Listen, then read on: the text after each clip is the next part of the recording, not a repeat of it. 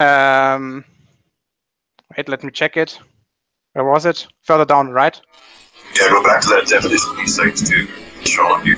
Small angle formula. What? You can't differentiate size. Small angle. Uh, did you change the page?